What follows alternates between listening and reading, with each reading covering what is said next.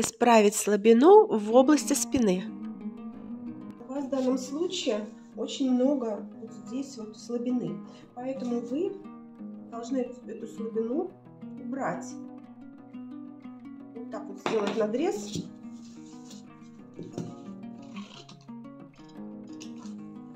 Вот здесь стали тоже надрез. И вот так вот закрыть. Посмотреть насколько, прямо на, когда вы делаете на фигуре, посмотреть, защи, э, защипить вот так вот и вот так убрать. Поэтому у вас, видите, образовывается, образовывается вот эта выточка. Вы эту выточку, просто чтобы вам ровный срез вот сделать, да, вы эту выточку вот это вот расстояние. Половину убираете сюда, половину убираете сюда. Вот здесь вот выпрямляете.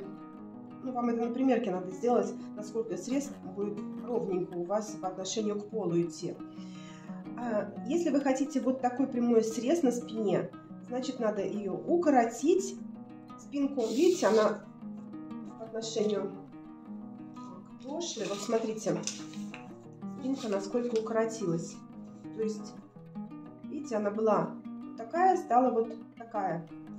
Вот. И давайте я новую спинку тогда вам начерчу. Вот так вот соединить.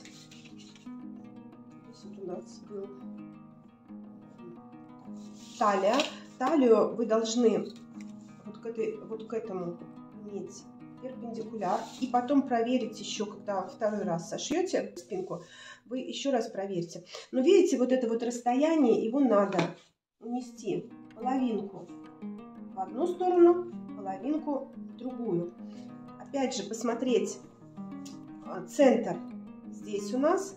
Значит, вот четыре с половиной вы откладываете вверх, четыре с половиной проводите прямую линию и исправляете вот эту вашу выточку. То есть ее увеличиваете, она явно у вас там должна быть увеличена.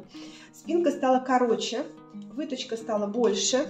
Видите, спинка была длиннее, вот настолько, а стала короче. Либо второй вариант. Это был вариант, когда у вас нормальный боковой шов, который вы не хотите менять. То есть вы только изменили вот это состояние, опустили немножко и э, перенесли вашу выточку, увеличили ее и опустили саму, саму эту. Второй вариант когда и сбоку у вас тоже идут заломы. Случае изделие вы смотрите, насколько вот здесь вы хотите собрать, да, на сколько сантиметров. Вы измеряете, допустим, у вас, возможно, там 3 сантиметра или 4 сантиметра. И здесь на сколько сантиметров вы хотите убрать тоже сбоку. И опускаете на это расстояние вот таким образом. То есть вот на эти 4 сантиметра вы опускаете вашу ступку. А здесь опускаете пройму на, допустим, на 2 сантиметра. То есть собираете и вот так вот изменяете. Если у вас здесь тоже заломы, не только вот здесь заломы, но и здесь заломы. Поэтому в, в этом случае вы изменяете также и ваш период. То есть пройму переда